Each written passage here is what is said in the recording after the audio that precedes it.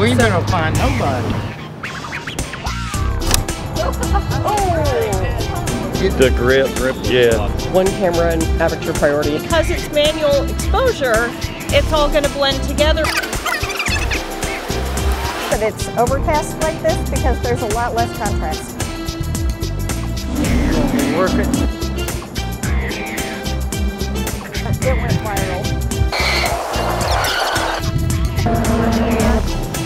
a great time. It's a little cold and windy, but we're here.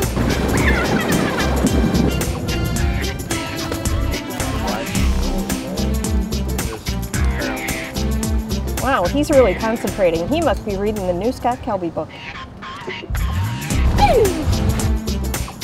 Nothing but pure easy life.